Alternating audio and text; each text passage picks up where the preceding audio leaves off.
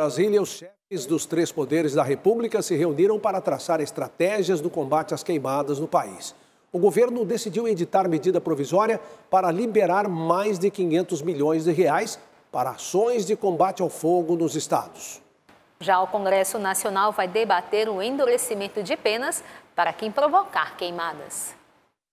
A reunião convocada pelo governo contou com a presença do ministro Luiz Roberto Barroso, Rodrigo Pacheco, Arthur Lira, Lula e seis ministros.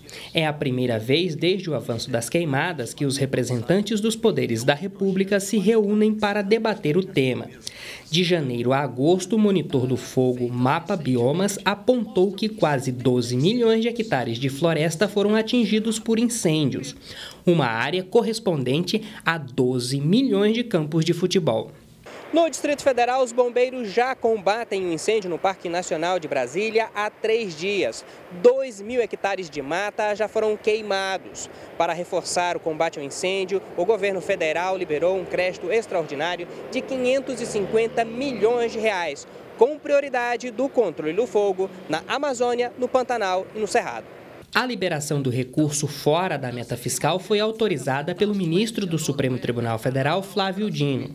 No encontro, o presidente Lula disse que o país não estava preparado para essa emergência climática.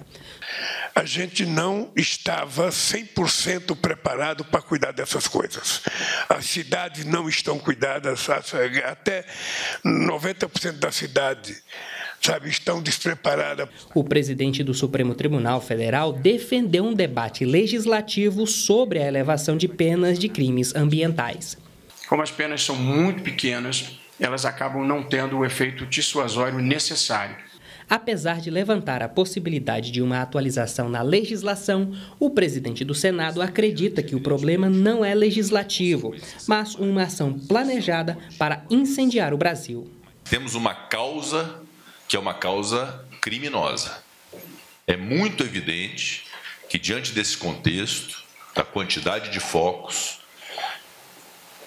há sim uma orquestração mais ou menos organizada, mas que busca esse objetivo de incendiar o Brasil.